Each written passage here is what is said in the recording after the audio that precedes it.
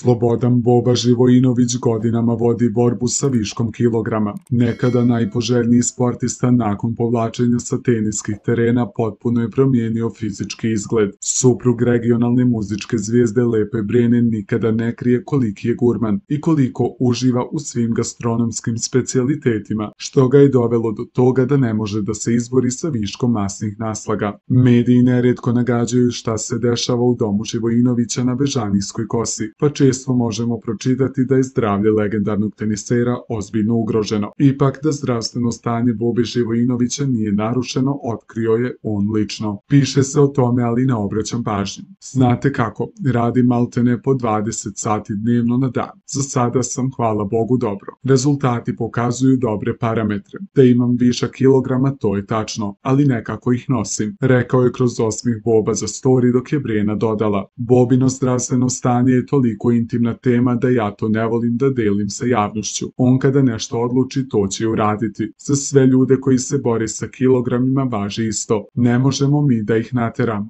već treba da im pomognemo da sami dođu do toga da reše taj problem. Zato verujem da kada Boba bude hteo da to reši, on će to uraditi, jer je do sad u životu ostvario sve što je naumio. Nadam se da će i ovo, zaključila je pjevačica.